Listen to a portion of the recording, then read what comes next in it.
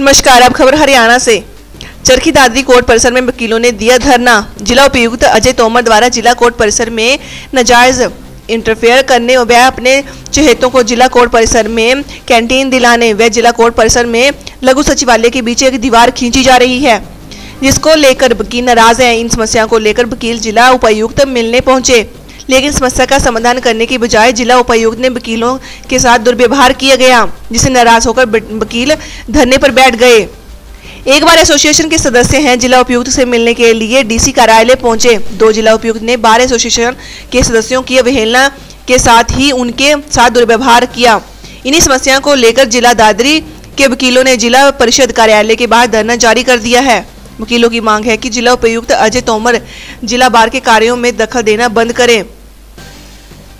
साथ ही अपने चहेतों को कंटीन के लिए सिफारिश न करें और वकीलों के साथ सदाचार से पेश आए। इन्हीं मांगों को लेकर धरना जारी है।